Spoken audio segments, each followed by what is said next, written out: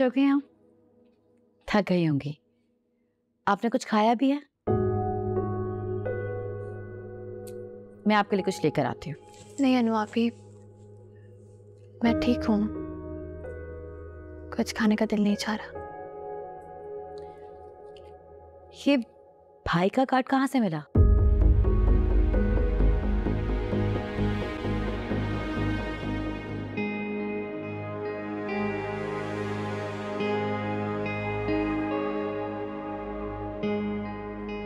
आप परेशान नहीं हो।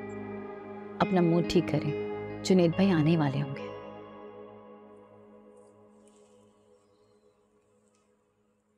आप बहुत अच्छी हैं अनु आप ही कितना ख्याल रखती हैं मेरा।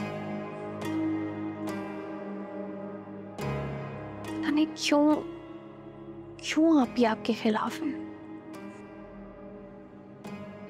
रोही मेरे खिलाफ इसलिए है क्योंकि मैं आपके साथ हूँ। घर में तो सब एक साथ ही होते हैं।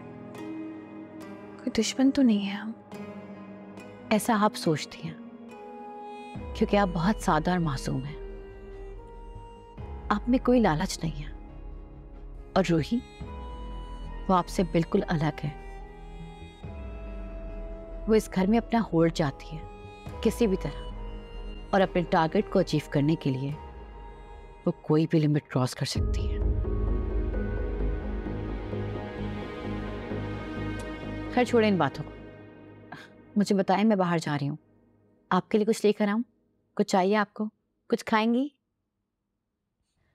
अच्छा मैं रिफत भी से कहती हूँ कि आपके लिए चाय के साथ कुछ स्नैक्स भी ले आए।